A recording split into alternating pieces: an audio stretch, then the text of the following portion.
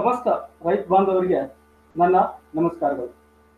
ನನ್ನ ಹೆಸರು ಫಕೀರ್ ಸ್ವಾಮಿ ಹಿರೇಮಠ್ ಹಾಗೂ ನಾನು ಜೈನ್ ಇರಿಗೇಷನ್ ಹನಿ ನೀರಾವರಿ ಸಂಸ್ಥೆಯಲ್ಲಿ ಹನಿ ನೀರಾವರಿ ಬೇಸಾಯ ತಜ್ಞನಾಗಿ ಕೆಲಸ ಮಾಡ್ತಾ ಇದ್ದೇನೆ.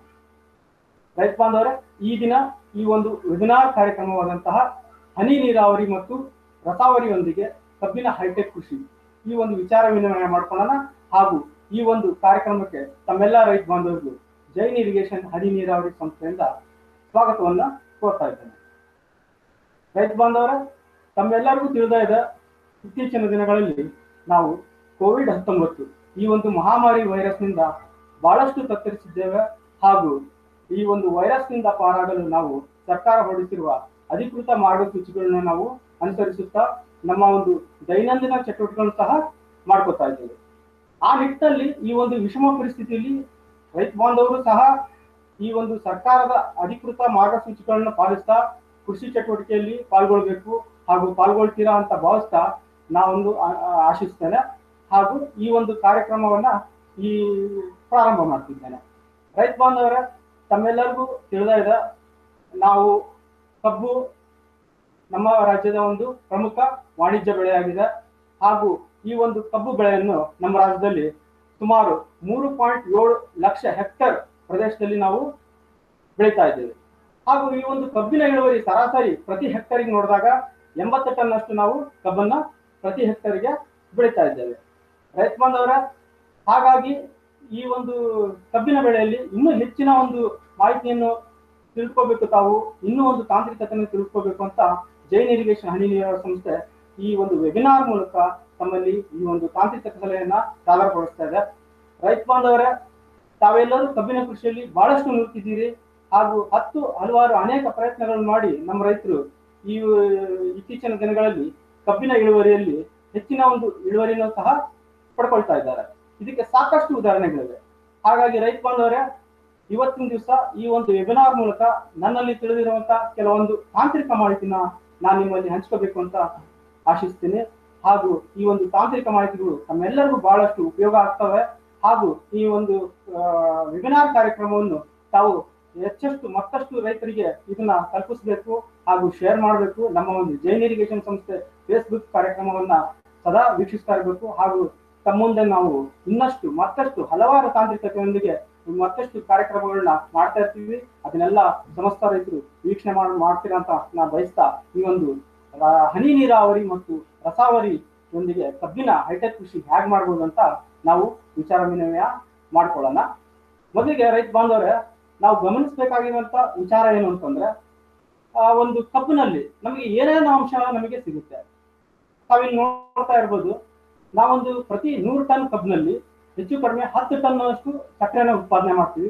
ಹಾಗೆ ಮೂರು ಟನ್ ಅಷ್ಟು ಫಿಲ್ಟರ್ ಮಾಡಿ ಸಹ ಸಿಗುತ್ತೆ. ಹಾಗೆ ಮೂವತ್ತು ಟನ್ ಅಷ್ಟು ಬಗ್ಯಾಸ್ ಸಿಗುತ್ತೆ.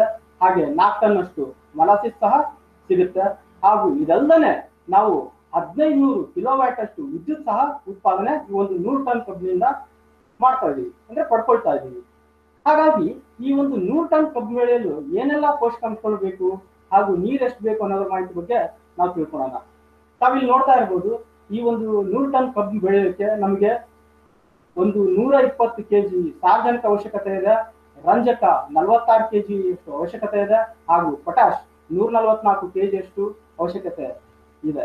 ಹಾಗೆ ಈ ಒಂದು ಕಬ್ಬನ್ನು ಬೆಳೆಯಲು ಈ ಒಂದು ನೂರು ಟನ್ ಕಬ್ಬನ್ನು ಬೆಳೆಯಲು ಎಂಟು ಸಾವಿರ ಘನ ಮೀಟರ್ ಅಷ್ಟು, ಅಂದ್ರೆ ಎಂಟು ಸಾವಿರ ಮೀಟರ್ ಕ್ಯೂಬ್ ಅಷ್ಟು ನೀರನ್ನ ನಾವು ಉಪಯೋಗ ಮಾಡ್ಕೊಂಡು ನೂರು ಟನ್ ಕಬ್ಬನ್ನ ಬೆಳಿತಾ ಇದ್ದೀವಿ ಇತ್ತೀಚಿನ ದಿನಗಳಲ್ಲಿ.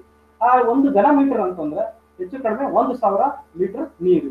ಅಂದ್ರೆ ಒಂದು ಮೀಟರ್ ಅಗಲ ಒಂದು ಮೀಟರ್ ಉದ್ದ, ಒಂದು ಮೀಟರ್ ಆಳವಾದ ಒಂದು ತಗ್ಗಿನಲ್ಲಿ ನಾವು ನೀರು ನಿಲ್ಲಿಸಿದಾಗ ಒಂದು ಸಾವಿರ ಲೀಟರ್ ಅದು ಪಡ್ಕ ಇರುವಷ್ಟು ಸಾಮರ್ಥ್ಯ ಇರುತ್ತೆ. ಹಾಗಾಗಿ ಎಂಟು ಸಾವಿರ ಘನ ಮೀಟರ್ ಅಷ್ಟು ನೀರು ನಮಗೆ ನೂರು ಟನ್ ಬೆಳೆಯಲು ಬೇಕಾಗುತ್ತೆ. ರೈತ ಬಂದವರೆ ಈ ಒಂದು ಇತ್ತೀಚಿನ ದಿನಗಳಲ್ಲಿ ನಾವು ಈಗ ಸಾಂಪ್ರದಾಯಿಕ ಪದ್ಧತಿಯಲ್ಲಿ ಕಬ್ಬನ್ನ ಬೆಳೀತಾ ಇದ್ದೀವಿ. ಆ ಒಂದು ಸಾಂಪ್ರದಾಯಿಕ ಪದ್ಧತಿಯಲ್ಲಿ ಕೆಲವೊಂದು ನಿರ್ಬಂಧಗಳಿವೆ. ಆ ಒಂದು ನಿರ್ಬಂಧಗಳನ್ನ ನಾವು ಗಮನ ಇಟ್ಕೊಂಡು ನೋಡ್ಕೊಂಡು ಅದನ್ನ ವಿತರಣೆ ಮಾಡ್ಕೊಂಡು ಹೋದಾಗ ಮತ್ತಷ್ಟು ಉತ್ಪಾದನೆ ಜಾಸ್ತಿ ಮಾಡ್ಕೊಬಹುದು ಅಂತ ನಾನು ತಮ್ಮಲ್ಲಿ ಹೇಳ ಬಯಸ್ತೇನೆ ಈ ಒಂದು ಅಂಶಗಳು ಏನಂದ್ರೆ, ನಿರ್ಬಂಧಗಳು ಏನಂತಂದ್ರೆ, ಒಂದನೇದಾಗಿ ನಮಗೆ ಉತ್ತಮ ತಳಿಯ ಕೊರತೆ ಆಗ್ತಾ ಇದೆ. ಹಾಗೆ ಯಾವ ತಳಿನ ಬೆಳಿಬೇಕು, ಯಾವ ತಳಿಯಿಂದ ಎಷ್ಟು ಇಳುವರಿ ಪಡ್ಕೋಬೇಕು ಅನ್ನೋ ಮಾಹಿತಿ ಸಹಿತ ಬಹಳಷ್ಟು ಕಡಿಮೆ ಇದೆ. ಹಾಗಾಗಿ ಈ ಒಂದು ನಿಟ್ಟಿನಲ್ಲಿ ಒಂದು ಉತ್ತಮ ತಳಿಯ ಆಯ್ಕೆ ಮಾಡಿಕೊಂಡು ಉತ್ತಮ ಇಳುವರಿಯನ್ನ ಪಡ್ಕೋಬೇಕು. ಈ ಒಂದು ನಿರ್ಬಂಧನ ನಿವಾರಣೆ ಮಾಡ್ಕೋಬೇಕು. ಮತ್ತೆ ಇತ್ತೀಚಿನ ದಿನಗಳಲ್ಲಿ ಒಳ್ಳೆಯ ಕಬ್ಬಿನ ಬೀಜಗಳು ಸಹ ಸಿಗೋದು ನಮ್ಮಲ್ಲಿ ಕೊರತೆ ಕಂಡು ಬರ್ತಾ ಇದೆ. ನಾವು ಕಬ್ಬಿನ ಬೀಜವನ್ನು ಆರರಿಂದ ಏಳು ತಿಂಗಳು, ತಿಂಗಳಿನ ಒಂದು ಹಚ್ಚ ಕಬ್ಬನ್ನ ನಾವು ಆಯ್ಕೆ ಮಾಡ್ಕೊಂಡು ನಾವು ನಾಟಿ ಮಾಡ್ಕೋಬೇಕಾಗುತ್ತೆ. ಆದ್ರೆ ಕೆಲವೊಂದು ಸಮಯದಲ್ಲಿ ಏನಾಗುತ್ತೆ, ಕಬ್ಬಿನ ಬೀಜದ ಕೊರತೆಯಿಂದಾಗಿ ನಾವು ಕೂಡೆ ಕಬ್ಬನ್ನ ಸೆಲೆಕ್ಟ್ ಮಾಡ್ಕೊಂಡು ಅದನ್ನ ನಾಟಿ ಮಾಡ್ಲಿಕ್ಕೆ ಉಪಯೋಗ ಮಾಡ್ತಾ ಇದ್ದೀವಿ. ಇಂತಹ ಕಬ್ಬಿನಿಂದ ನಾವು, ಬೀಜಗಳಿಂದ ನಾವು ನಾಟಿ ಮಾಡಿದಾಗ ನಮಗೆ ಗುಣಮಟ್ಟದ ಕಬ್ಬನ್ನು ಬೆಳೀಲಿಕ್ಕೆ ಸಾಧ್ಯ ಆಗುದಿಲ್ಲ ಅಂತ ನಾನು ಹೇಳ್ಬಯಸ್ತೀನಿ. ಮೂರನೇ ಅಂಶ ಏನು ಅಂತಂದ್ರೆ, ನೀರಿನ ನಿರ್ವಹಣೆ ಸರಿಯಾಗಿ ಆಗ್ತಾ ಇಲ್ಲ. ಅಂದ್ರೆ ರೈತ ಬಾಂಧವರು ಈ ವಿಚಾರನ ಬಹಳಷ್ಟು ತಿಳ್ಕೋಬೇಕು. ಕಬ್ಬಿನ ಬೆಳವಣಿಗೆ ಹಂತಗಳನ್ನು ತಿಳ್ಕೋಬೇಕು. ಈ ಒಂದು ಬೆಳಗ ಬೆಳವಣಿಗೆ ಹಂತದಲ್ಲಿ ಯಾವ ಟೈಮಲ್ಲಿ ಎಷ್ಟು ನೀರು ಕೊಡಬೇಕು ಅನ್ನೋ ಒಂದು ಅಂಶ ನಮ್ಮಲ್ಲಿ ಗೊತ್ತಿರಬೇಕು.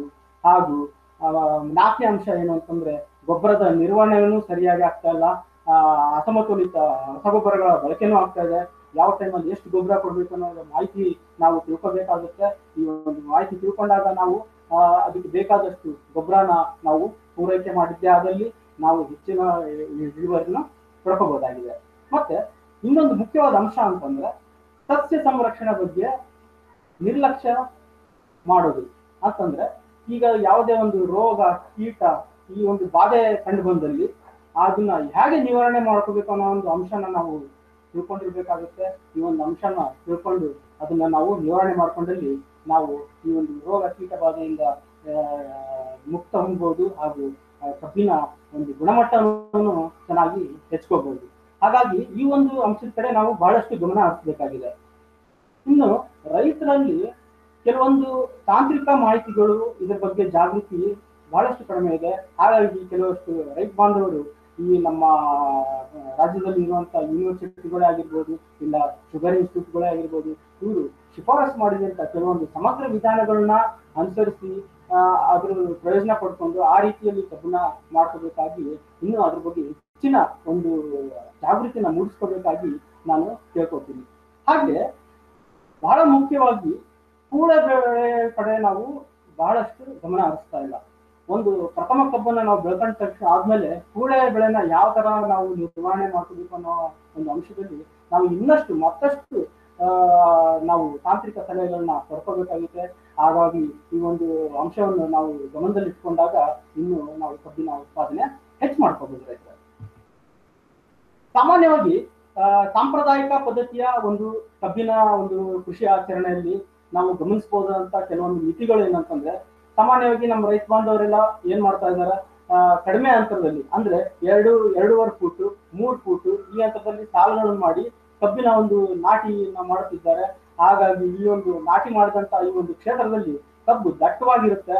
ಆ ಈ ಒಂದು ದಟ್ಟವಾಗಿರುವಂತ ಕಾರಣದಿಂದ ಹೆಚ್ಚಿನ ನೆರಳು ಇದರ ಒಂದು ಎಫೆಕ್ಟ್ ನಮಗೆ ಆಗೋದ್ರಿಂದ ಅಲ್ಲಿ ದಟ್ಟತೆ ಆಗಿ ಅದ್ರದ್ದು ಒಂದು ಪ್ರಾಬ್ಲಮ್ ಕ್ರಿಯೇಟ್ ಆಗ್ತಾ ಇರುತ್ತೆ. ಮತ್ತೆ ಇನ್ನೊಂದು ಈ ಸಾಂಪ್ರದಾಯಿಕ ಪದ್ಧತಿಯಲ್ಲಿ ಹರಿವಿನ ನೀರು, ಅಂದ್ರೆ ಹಾಯಿ ನೀರು ಮಾಡ್ಕೊಂಡು ನಾವು ಕಬ್ಬನ್ನ ಬೆಳಿತಾ ಇದ್ದೀವಿ. ಹಾಗಾಗಿ ಈ ಒಂದು ಹಾಯಿ ನೀರು ಮಾಡುವಂಥದ್ದು ಏನಿದೆ? ಆ, ವಾರಕ್ಕೊಮ್ಮೆ ಇಲ್ಲ ಹತ್ತು ದಿವಸಕ್ಕೊಮ್ಮೆ ನಾವು ನೀರಾವರಿ ಮಾಡ್ತಿರ್ತೀವಿ. ಹಾಗಾಗಿ ಇವತ್ತು ನಾವು ಹಾಯಿ ನೀರು ಮಾಡಿದ್ರೆ ಮತ್ತೆ ಅದ್ರದ್ದು ಒಂದು ಸೈಕಲ್ ಬರೋದು. ಅಂದ್ರೆ ನೆಕ್ಸ್ಟ್ ನಾವು ಹಾಯಿ ನೀರು ಮಾಡೋದು ಯಾವಾಗ ಅಂತಂದ್ರೆ ಏಳು ದಿನ ಆದ್ಮೇಲೆ ಇಲ್ಲ ಅಂತ ಹತ್ತು ದಿನ ಆದ್ಮೇಲೆ ನಾವು ಮಾಡ್ತಾ ಇರ್ತೀವಿ. ಹಾಗಾಗಿ ಇವತ್ತಿನ ದಿವಸ ನಾವು ಹಾಯಿ ನೀರು ಮಾಡಿದಾಗ ಇವತ್ತಿನ ದಿವಸ ನಮ್ಮ ಕಬ್ಬು ಬೆಳೆಗೆ ನೀರು ಪೂರೈಕೆ ಆಗಲ್ಲ. ಯಾಕಂತಂದ್ರೆ ಬಹಳಷ್ಟು ನೀರು ಯಥೇಚ್ಛವಾಗಿ ಅಲ್ಲಿ ಕಬ್ಬಿನ ಪ್ರದೇಶದಲ್ಲಿ ನಿಂತಿರೋದ್ರಿಂದ ಆ ಒಂದು ದಿವಸ ಮತ್ತೆ ಮುಂದಿನ ಬರುವ ಒಂದು ಎರಡು ಮೂರು ದಿವಸದಲ್ಲಿ ಕಬ್ಬು ಆ ನೀರ್ನ ತಗೊಳ್ಳಿಕ್ಕೆ ಆಗಲ್ಲ. ಆ ನೀರು ಹೆಚ್ಚಾಗಿದ್ದ ನೀರು ಭೂಮಿಯಲ್ಲಿ ಹಿಂಗುತ್ತೆ ಮತ್ತೆ ಇಲ್ಲ ಹರ್ಕೊಂಡು ಹೋಗುತ್ತೆ. ಅವಾಗ ನಮ್ಮ ಕಬ್ಬು ನೀರನ್ನ ನೀರ್ನ ಪಡ್ಕೊಳ್ಳಿಕ್ಕೆ ಸಾಧ್ಯ ಆಗಲ್ಲ. ಹಾಗೆ ಈ ಒಂದು ರೀತಿಯ ಒಂದು ಹಾಯಿ ನೀರು ಮಾಡೋದ್ರಿಂದ ಏನಾಗುತ್ತೆ? ಕಬ್ಬಿನಲ್ಲಿ ನೀರಿನ ಸಮಸ್ಯೆ ಪ್ರಾರಂಭ ಆಗುತ್ತೆ.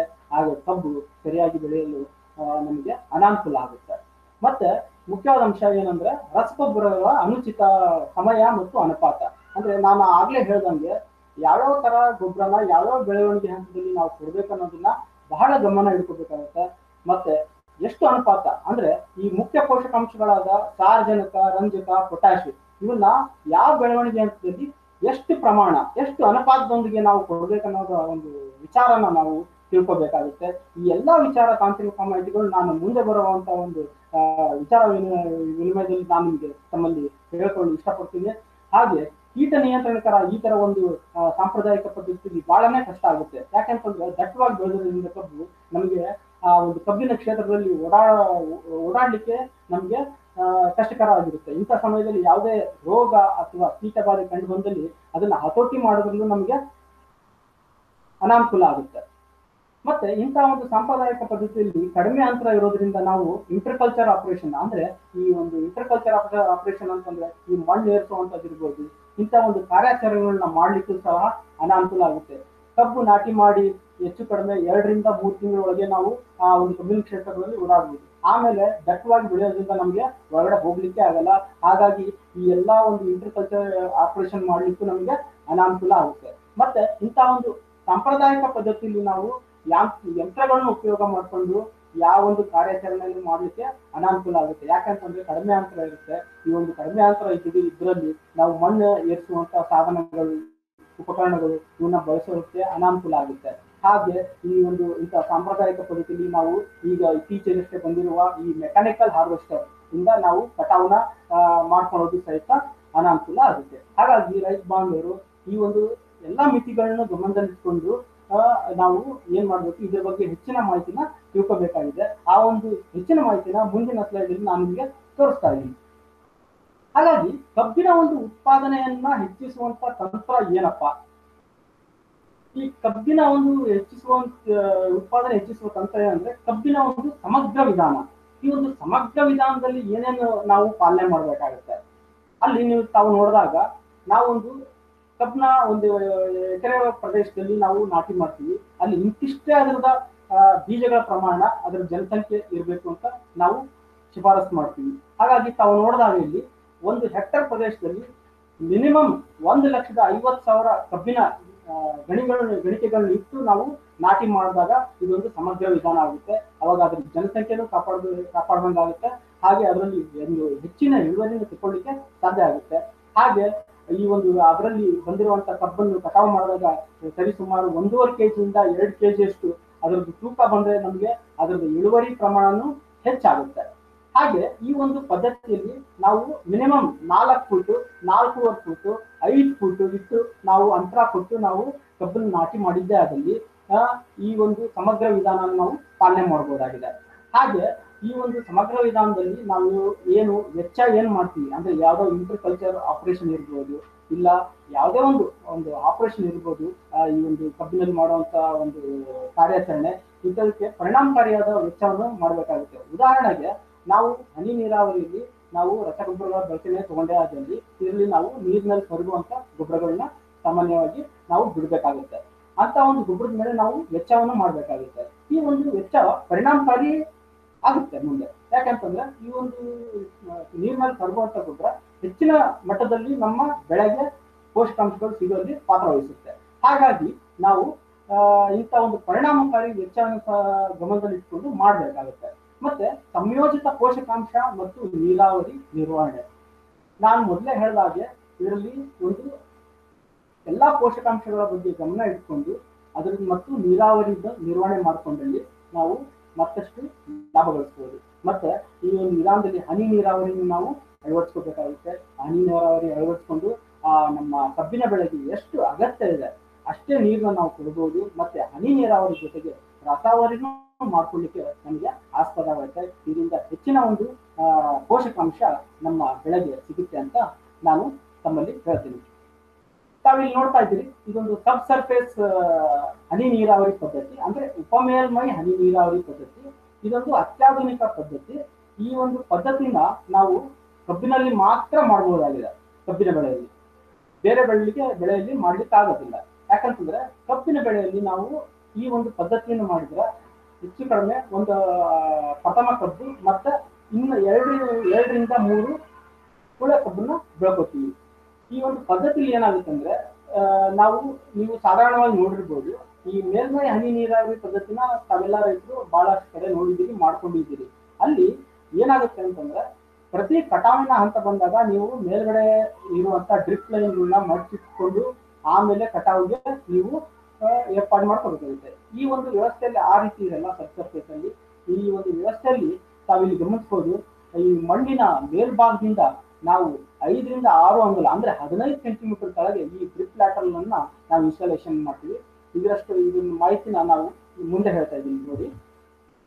ತಾವಿಲ್ಲಿ ನೋಡ್ಬೋದು, ಮೇಲ್ಮೈ ಹನಿ ನೀರಾವರಿ ಪದ್ಧತಿಯಿಂದ ನಾವು ಉಪಮೇಲ್ಮೈ ಹನಿ ನೀರಾವರಿ ಪದ್ಧತಿಗೆ ನಾವು ಅಪ್ಗ್ರೇಡ್ ಆಗಿದ್ದೀವಿ.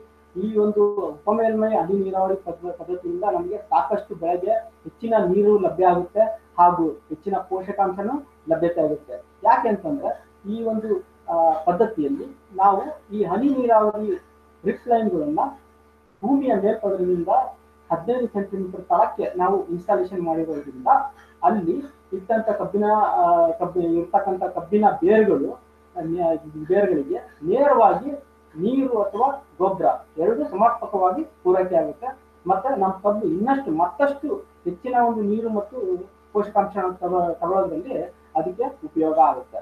ತಾವಿಲ್ಲಿ ನೋಡ್ಬೋದು. ಇದು ಮೇಲ್ಮೈ ಪದ್ಧತಿ, ಇಲ್ಲಿ ಡಿಪ್ ಲೈನ್ಗಳು ಮೇಲೆ ಅಳವಡಿಸಿದ್ದೀವಿ ಹಾಗೂ ಇದು ಉಪಮೇಲ್ಮೈ ಪದ್ಧತಿ, ಇಲ್ಲಿ ಕಬ್ಬಿನ, ನಮ್ಮ ಮಣ್ಣಿನ ಮೇಲ್ಪದರದಿಂದ ಹದಿನೈದು ಸೆಂಟಿಮೀಟರ್ ತಳಕ್ಕೆ ಈ ಒಂದು ಸರಿ ಡ್ರಿಪ್ ಲೈನ್ ಲ್ಯಾಟ್ರಲ್ ನಮ್ಮ ಜೈನ್ ಇರಿಗೇಷನ್ ನಾವು ಸಾಧಾರಣವಾಗಿ ಜೈನ್ ಟರ್ಬೋ ಆಕ್ಸೆಲ್ ಈ ಒಂದು ಡ್ರಿಪ್ ಲೈನ್ ಅನ್ನು ನಾವು ಈ ಒಂದು ಪದ್ಧತಿಗೆ ಬಳಸ್ತೀವಿ.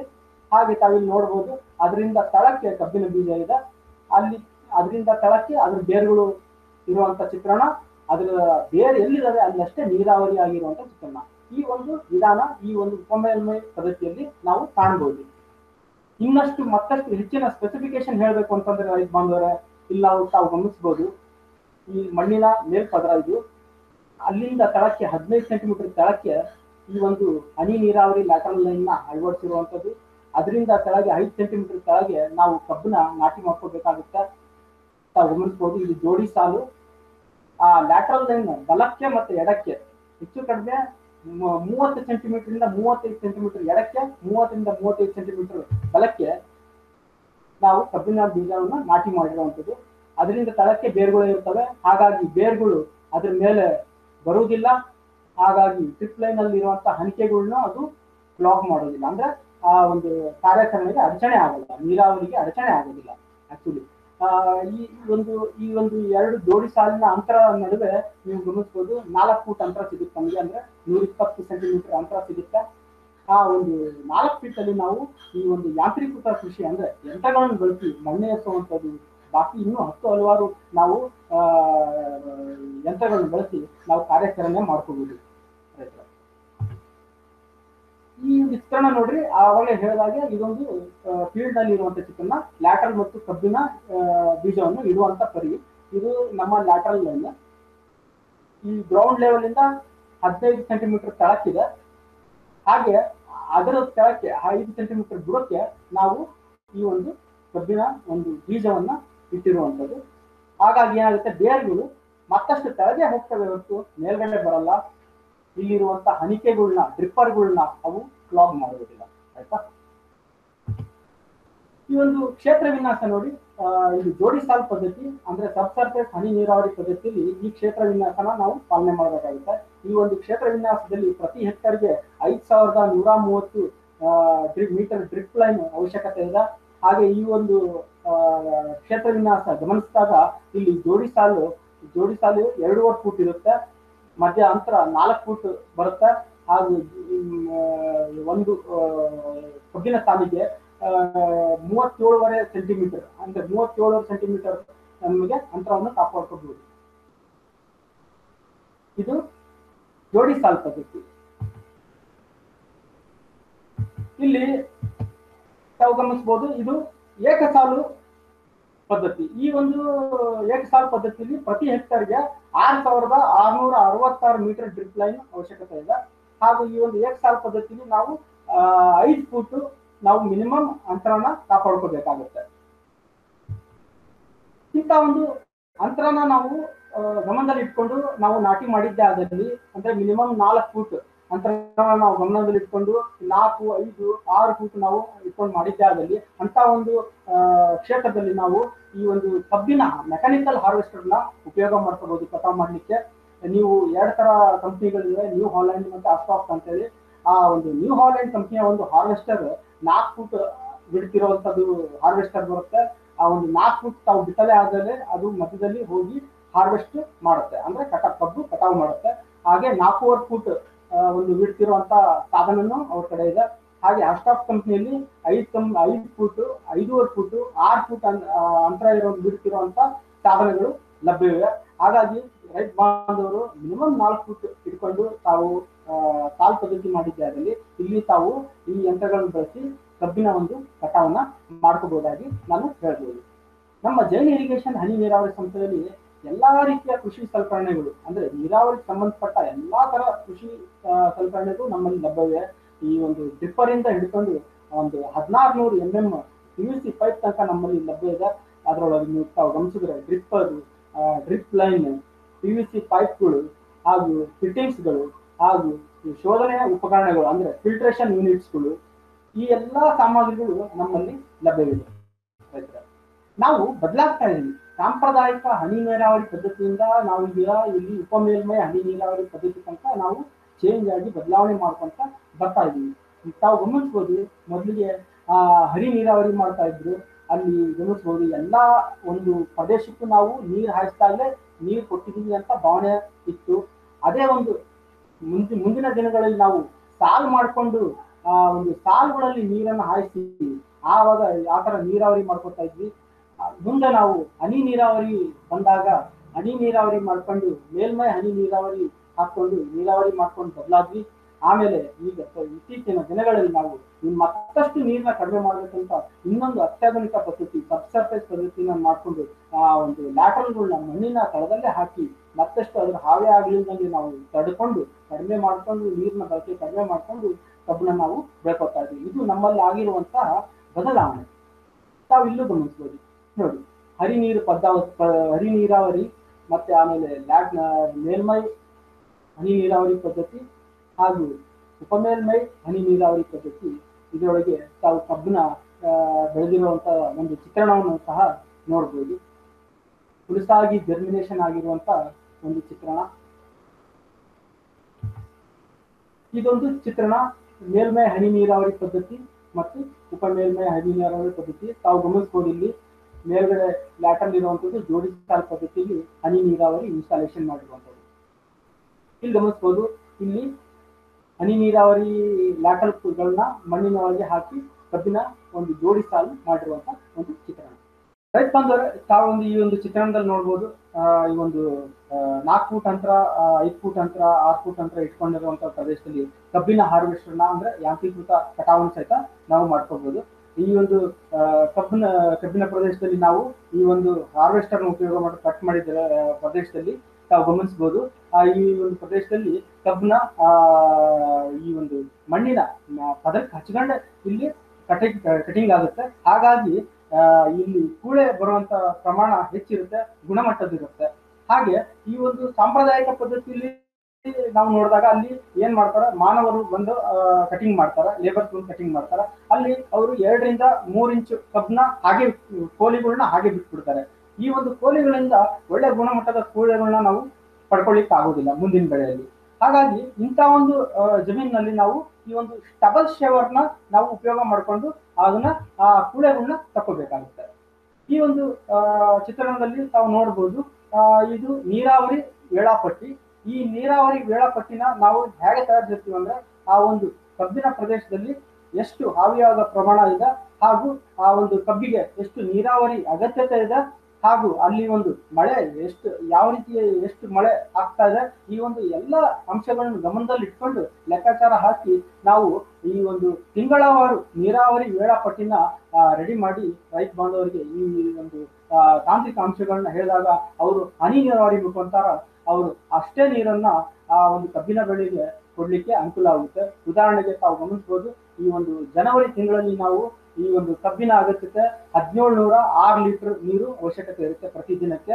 ಆ ಒಂದು ಹದಿನೇಳು ನೂರ ಆರು ಲೀಟರ್ ಕೊಡಬೇಕು ಅಂತಂದ್ರೆ ನಮ್ಮ ರೈತರು ಹನಿ ನೀರಾವರಿಲಿ ಒಂದು ಐದು ನಿಮಿಷ ನಾವು ಹನಿ ನೀರಾವರಿ ವ್ಯವಸ್ಥೆನ ಪ್ರಾರಂಭ ಮಾಡಿದಾಗ ಅಲ್ಲಿ ಏನಾಗುತ್ತೆ ಹದಿನೇಳು ನೂರ ಆರು ಲೀಟರ್ನ ನಾವು ಆ ಒಂದು ನೀರಿನ ಅವಶ್ಯಕತೆಯನ್ನ ಪೂರೈಕೆ ಮಾಡಬಹುದು ಹಾಗೆ ಪ್ರತಿಯೊಂದು ತಿಂಗಳು ನಾವು ಈ ಒಂದು ವೇಳಾಪಟ್ಟಿಯನ್ನು ಅನುಸರಿಸಿದ್ದೇ ಆದಲ್ಲಿ ನೀರು ನಮ್ಮ ಕಬ್ಬಿನ ಬೆಳೆಗೆ ಬಹಳ ಅಗತ್ಯ ಪ್ರಮಾಣದಲ್ಲಿ ಪೂರೈಕೆ ಆಗುತ್ತೆ ಹಾಗೂ ಕಬ್ಬು ಬಹಳ ಉನ್ನತ ಮಟ್ಟದಲ್ಲಿ ಬೆಳೀಲಿಕ್ಕೆ ಆಸ್ಪದ ಆಗುತ್ತೆ. ಹಾಗಾಗಿ ತಾವು ಈ ಒಂದು ನೀರಾವರಿ ವೇಳಾಪಟ್ಟಿನ ಗಮನದಲ್ಲಿ ಇಟ್ಕೋಬೇಕಾಗಿ ನಾನು ತಮ್ಮಲ್ಲಿ ಕೇಳ್ಕೊತೀನಿ ಗೊಬ್ಬರ ನಿರ್ವಹಣೆ, ರಸಾವರಿ ಫರ್ಟಿಗೇಷನ್ ರಸಾವರಿ ಮೂಲಕ. ಅಂದ್ರೆ ನಾವು ಇಂಗ್ಲಿಷ್ ಅಲ್ಲಿ ಫರ್ಟಿಗೇಷನ್ ಅಂತ ಕರಿತೀವಿ, ರಸಾವರಿ ಅಂತಂದ್ರೆ ರಸಾವರಿ ಅಂತಂದ್ರೆ ಏನಪ್ಪ? ನಾವು ಹನಿ ನೀರಾವರಿ ಅಳವಡಿಸ್ಕೊಂಡಿದ್ದೇವೆ. ಆ ಒಂದು ಹನಿ ನೀರಾವರಿಯಲ್ಲಿ ನಾವು ಈ ಒಂದು ನೀರಿನಲ್ಲಿ ಕರಗುವಂತ ಗೊಬ್ಬರಗಳನ್ನ ನಾವು ಈ ಒಂದು ಹನಿ ನೀರಾವರಿ ಮುಖಾಂತರ ಬಿಟ್ಟಾಗ ಅದು ರಸಾವರಿ ಆಗುತ್ತೆ. ಹಾಗೆ ಈ ಒಂದು ಗೊಬ್ಬರವನ್ನು ಬಿಟ್ಟಂತ ಗೊಬ್ಬರ ನಮ್ಮ ಒಂದು ಕಬ್ಬಿನ ಬೆಳೆಗೆ ಹೆಚ್ಚಿನ ಮಟ್ಟದಲ್ಲಿ ಕಬ್ಬಿಗೆ ಸಿಗುತ್ತೆ. ಹಾಗೂ ಕಬ್ಬು ಸಂಪಾದ ಬೆಳೆಗೆ ಅನುಕೂಲ ಆಗುತ್ತೆ. ಹಾಗಾಗಿ ಈ ಒಂದು ರಸಾವರಿ ವೇಳಾ ರಥಾವರಿನ ನಾವು ಅನುಸರಿಸಬೇಕಾಗುತ್ತೆ. ತಾವನ್ನು ಗಮನಿಸ್ಬೋದು. ಸಾಧಾರಣವಾಗಿ ಈ ಒಂದು ಸಾಧಾರಣ ಪದ್ಧತಿಯಲ್ಲಿ ನಾವು ಸಾಲಿನಲ್ಲಿ ಕೈ ಗೊಬ್ಬರಗಳನ್ನ ಹಾಕ್ತಾ ಇದ್ವಿ. ಅದೇ ಇವಾಗ ಹನಿ ನೀರಾವರಿಯಲ್ಲಿ ಈ ಒಂದು ವೆಂಚೂರಿ ಅನ್ನೋ ಒಂದು ಸಾಧನದಲ್ಲಿ ನಾವು ಈ ನೀರಿನಲ್ಲಿ ತರುವಂತ ಗೊಬ್ಬರನ ನಾವು ಕರಗಿಸಿ ನಮ್ಮ ಒಂದು ಕಬ್ಬಿನ ಕ್ಷೇತ್ರಕ್ಕೆ ನಾವು ಒಂದು ಪೋಷಕಾಂಶನ ಪೂರೈಕೆ ಮಾಡ್ತಾ ಇದ್ದೇವೆ. ಕಬ್ಬಿನ ಬೆಳೆಯ ಬೆಳವಣಿಗೆ ಹಂತಗಳನ್ನು ಹಾಗೂ ಅವಶ್ಯಕತೆ ಅನುಗುಣವಾಗಿ ಗೊಬ್ಬರಗಳನ್ನು ಕೊಡುವುದು. ಇದು ಬಹಳ ಮುಖ್ಯವಾದಂತ ಒಂದು ಅಂಶ.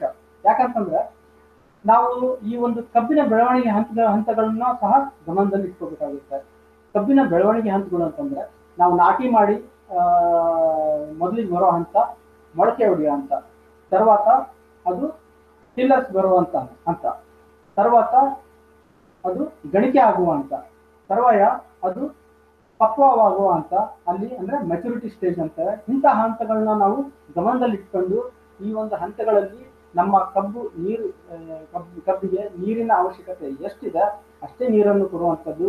ಹಾಗೂ ಆ ಒಂದು ಹಂತಗಳಲ್ಲಿ ಯಾವ ಪ್ರಮಾಣದ ಗೊಬ್ಬರ, ಯಾವ ಮುಖ್ಯ ಪೋಷಕಾಂಶ ಕೊಡ್ಬೇಕು ಅನ್ನೋ ಒಂದು ಗಮನದಲ್ಲಿ ಇಟ್ಕೊಂಡು ನಾವು ಕೊಡಬಹುದಾಗಿದೆ ಹಾಗಾಗಿ ಈ ಒಂದು ಹಂತಗಳನ್ನ ಮತ್ತೆ ನಾವು ಬಹಳಷ್ಟು ಗಮನ ಕೊಡಬೇಕಾಗುತ್ತೆ. ರಸಾವರಿ ವೇಳಾಪಟ್ಟಿನ ಹೇಗೆ ತಯಾರಿಸೋದು? ಯಾವ ಆಧಾರದ ಮೇಲೆ ನಾವು ರಸಾವರಿ ಪಟ್ಟಿನ ತಯಾರಿಸ್ತೀವಿ? ನಾನು ನಿಮ್ಗೆ ಮೊದಲೇ ಹೇಳಿದ ಹಾಗೆ ನಾವು ಕಬ್ಬಿನ ಬೆಳವಣಿಗೆ ಹಂತಗಳನ್ನ ನಾವು ಗಮನದಲ್ಲಿ ಇಟ್ಕೊಂಡಿರ್ಬೇಕು ಮರಿ ಹೊಡೆಯೋ ಹಂತ ಆಮೇಲೆ ಗಣಿಕೆ ಆಗುವ ಹಂತ, ಮತ್ತೆ ಪಕ್ವ ಆಗುವ ಹಂತ. ಯಾಕಂತಂದ್ರೆ ಕಬ್ಬಿನ ಒಂದು ಹನ್ನೆರಡು ತಿಂಗಳ ಬೆಳವಣಿಗೆಯಲ್ಲಿ ಈ ಒಂದು ನಾಲ್ಕರಿಂದ ಐದು ಹಂತಗಳು ಬಹಳ ಮುಖ್ಯವಾದ ಹಂತಗಳು.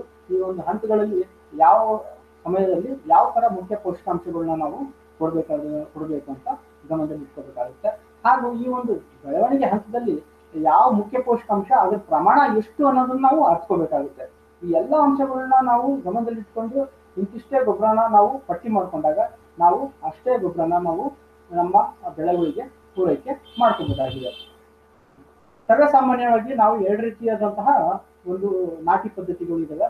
ಆ ನಾಟಿ ಪದ್ಧತಿಗಳನ್ನ ನಾವು ಗಮನಿಸಿದಾಗ ಒಂದು ಅಕ್ಟೋಬರ್, ನವೆಂಬರ್ ತಿಂಗಳಲ್ಲಿ ಮಾಡುವಂತ ನಾಟಿ ಪದ್ಧತಿ, ಮತ್ತೊಂದು ಜನವರಿ, ಫೆಬ್ರವರಿ ತಿಂಗಳಲ್ಲಿ ಮಾಡುವಂತ ನಾಟಿ ಪದ್ಧತಿ.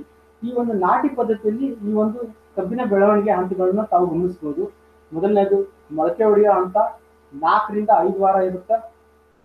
ಐದರಿಂದ ಹನ್ನೊಂದನೇ ವಾರ ತನಕ ಮರಿ ಹೊಡೆಯುವ ಹಂತ, ಅಂದ್ರೆ ಈ ಒಂದು ಹಂತದಲ್ಲಿ ನಾವು ಕಬ್ಬು ನಾಟಿ ಮಾಡೋದಂತ ಬೀಜ ಮೊಳಕೆ ಹೊಡೆದು ಆ ಒಂದು ಮೊಳಕೆ ಹೊಡೆದು ಹೊಡೆದಿದ್ದ ಕಬ್ಬಿ ಕಬ್ಬಿನಿಂದ ಮರಿಗಳು ಬರುವಂತ ಹಂತ ಈ ಒಂದು ಹಂತ. ಹಾಗೆ ಹನ್ನೆರಡರಿಂದ ಹದಿನಾರು ಹದಿನಾರು ವಾರವರೆಗೆ ಈ ಬೆಳೆದಂತ ಕಬ್ಬು ಗಣಿಕೆಗಳು ಆಗುವಂತ ಹಂತ ಹಾಗೆ ಮುಂದೆ ಬರುವಂತದ್ದು ಒಂದು ಬಹಳ ದೇಹ ಬೆಳವಣಿಗೆ ಆಗುವಂತ ಹಂತ ನಾವು ನೋಡ್ಬೇಕಾಗುತ್ತೆ. ಅದು ಹದಿನೇಳರಿಂದ ಮೂವತ್ತೆಂಟು ವಾರದಲ್ಲಿ ಬರುತ್ತೆ. ಹಾಗೆ ಆ ಒಂದು ಬೆಳೆದಂತ ಕಬ್ಬಿನಲ್ಲಿ ಸಕ್ಕರೆ ಪ್ರಮಾಣ ಆಗುವಂತ ಹಂತ ಅಲ್ಲಿ ಅದು ಮೂವತ್ತೆಂಟು ವಾರದಿಂದ ನಲವತ್ತೊಂದು ವಾರ ವಾರ ತನಕ ಇರುತ್ತೆ. ಹಾಗೆ ಲಾಸ್ಟ್ಗೆ ಮೆಚುರಿಟಿ ಸ್ಟೇಜ್ ಇದು ಪರಿಪಕ್ವತೆ ಆಗುವಂತ ಒಂದು ಹಂತ. ಈ ಹಂತ ನಲವತ್ತೆರಡರಿಂದ ಅರವತ್ತೆರಡು ವಾರದೊಳಗೆ ಈ ಒಂದು ಹಂತ ನಾವು ನೋಡ್ಬೋದು. ಹಾಗೆ ಈ ಒಂದು ಕಬ್ಬಿನ ಬೆಳವಣಿಗೆಯ ಹಂತಗಳನ್ನು ಎಷ್ಟೆಷ್ಟು ವಾರ ಇರ್ತವೆ ಅನ್ನೋದು ಅಂಶನ ನಾವು ಇಲ್ಲಿ ಗಮನ ಇಟ್ಕೊಂಡು ನೋಡ್ಕೋಬೇಕಾಗುತ್ತೆ. ಕಬ್ಬಿನ ಬೆ, ನಾ ಹೇಳಿದಾಗೆ ಕಬ್ಬಿನ ವಿವಿಧ ಬೆಳವಣಿಗೆ ಹಂತಗಳಲ್ಲಿ ಎಷ್ಟು ಅನುಪಾತ ನಾವು ಗೊಬ್ಬರ ಕೊಡಬೇಕಾಗುತ್ತೆ. ಅಂದ್ರೆ ತಾವಿಲ್ಲಿ ನೋಡ್ಬೋದು, ಕಬ್ಬು ನಾಟಿ ಮಾಡಿ ಹದಿನೈದರಿಂದ ಎಪ್ಪತ್ತು ದಿವಸದೊಳಗೆ ನಾವು ಸರಿಸುಮಾರು ಮೂರು ಪ್ರಮಾಣದಷ್ಟು ಸಾರ್ವಜನಿಕ ಕೊಡಬೇಕಾಗುತ್ತೆ. ಒಂದು ಪ್ರಮಾಣದಷ್ಟು ರಂಜಕ ಕೊಡಬೇಕು, ಒಂದು ಪ್ರಮಾಣದಷ್ಟು ಪೊಟ್ಯಾಶ್ ಕೊಡಬೇಕು. ಈ ಅನುಪಾತನ ನಾವು ಕಾಪಾಡಿಕೊಳ್ಳಲೇಬೇಕು ಆ ಕಾಪಾಡಿಕೊಂಡಾಗ ನಮ್ಮ ಕಬ್ಬಿನ ಬೆಳವಣಿಗೆ ಬಹಳ ಗುಣಮಟ್ಟದಲ್ಲಿ ಇರುತ್ತೆ.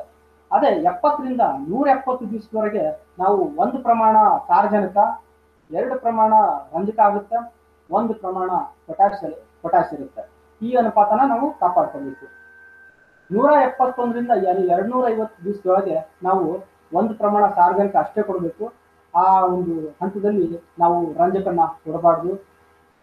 ಪೊಟ್ಯಾಶ್ನ ನಾವು ಮೂರುವರೆ ಪಟ್ಟಷ್ಟು ನಾವು ಅನುಪಾತದಷ್ಟು ಕಾಪಾಡ್ಕೋಬೇಕಾಗುತ್ತೆ ಯಾಕಂತಂದ್ರೆ ಇದು ಲಾಸ್ಟ್ ಮೆಚುರಿಟಿ ಆಗುವಂತ ಒಂದು ಹಂತ.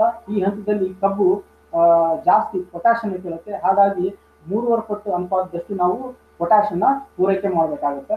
ಹಾಗಾಗಿ ಈ ಒಂದು ಹಂತಗಳನ್ನ ನಾವು ಬಹಳಷ್ಟು ಗಮನದಲ್ಲಿ ಇಟ್ಕೊಂಡು ಈ ಅನುಪಾತನ ಕಾಪಾಡಿಕೊಂಡಾಗ ನಾವು ಕಬ್ಬಿನ ಬೆಳವಣಿಗೆಯನ್ನ ನಾವು ಉನ್ನತ ರೀತಿಯಲ್ಲಿ ನೋಡ್ಬೋದು ಅಂತ ನಾನು ಭಾವಿಸ್ತೀನಿ. ಇದೊಂದು ಮಾದರಿ ರಸಾವರಿ ವೇಳಾಪಟ್ಟಿ. ತಾವಿಲ್ಲಿ ಗಮನಿಸ್ಬೋದು ನಾವೊಂದು ಮಾದರಿ ತೋರಿಸಿದ್ದೀನಿ ಈ ಒಂದು ಮಾದರಿಯಲ್ಲಿ ನಾ, ಕಬ್ಬಿನ ಬೆಳೆ, ಬೆಳವಣಿಗೆ ಹಂತದಲ್ಲಿ ಯಾವ್ಯಾವ ದರ್ಜೆ ಗೊಬ್ಬರಗಳನ್ನ ನಾವು ರೆಕಮೆಂಡ್ ಮಾಡಿದ್ದೀವಿ ಮತ್ತೆ ಎಷ್ಟು ಪ್ರಮಾಣ ರೆಕಮೆಂಡ್ ಮಾಡಿದ್ದೀವಿ ಮತ್ತೆ ಎಷ್ಟು ಅಂತರದಲ್ಲಿ ನಾವು ಇದನ್ನ ಕೊಡಬೇಕು ಅನ್ನೋದ್ರ ಬಗ್ಗೆ ನಾನು ನಿಮಗೆ ಹೇಳ್ತೀನಿ. ನಾಟಿ ಮಾಡಿದ ಹದಿನೈದರಿಂದ ಅರವತ್ತು ದಿವಸದವರೆಗೆ ನಾವು ಹತ್ತೊಂಬತ್ತು ಹತ್ತೊಂಬತ್ತು ಹತ್ತೊಂಬತ್ತು ಈ ಒಂದು ನೀರಿನಲ್ಲಿ ಕರಗುವಂತ ಗೊಬ್ಬರನ ಕೊಡ್ಬೇಕಾಗುತ್ತೆ ಮತ್ತೆ ಯೂರಿಯಾ ಕೊಡ್ಬೇಕಾಗುತ್ತೆ. ಆ, ಎಷ್ಟು ಪ್ರಮಾಣ ಕೊಡಬೇಕು?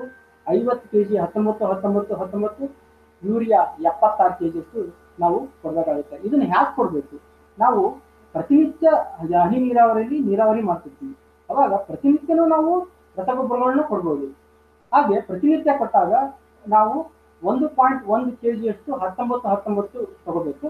ಹಾಗೂ ಯೂರಿಯಾನ ಒಂದು ಪಾಯಿಂಟ್ ಏಳು ಕೆ ಜಿಯಷ್ಟು ಎರಡನ್ನು ತಗೊಂಡು ಮಿಶ್ರಣ ಮಾಡಿ ನಾವು ಬಿಟ್ಟಾಗ ನಮ್ಮ ಒಂದು ಎಕರೆ ಪ್ರದೇಶಕ್ಕೆ ಆ ಒಂದು ದಿವಸ ಆ ಒಂದು ದಿವಸದ ಈ ಒಂದು ಗೊಬ್ಬರ ಪೋಷಕಾಂಶದ ಪೂರೈಕೆ ಆಗುತ್ತೆ.